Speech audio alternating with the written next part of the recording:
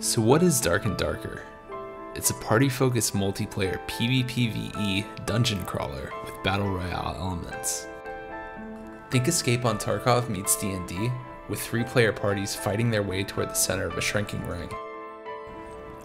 The goal being to escape with loot you've earned through blue escape portals that appear near the end of a match, or better prepared parties can take the red portals to go into deeper layers of the dungeon for better rewards, but deadlier challenges.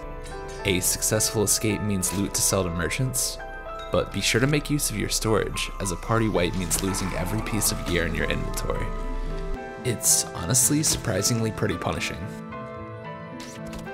High incoming damage and healing being a scarce and costly resource makes playing well and avoiding damage that much more rewarding, as you navigate traps, ambushes, secret passages, and try to preserve as much HP as possible through each encounter. As the ring shrinks and you move toward the center of the dungeon, your party is likely to encounter others.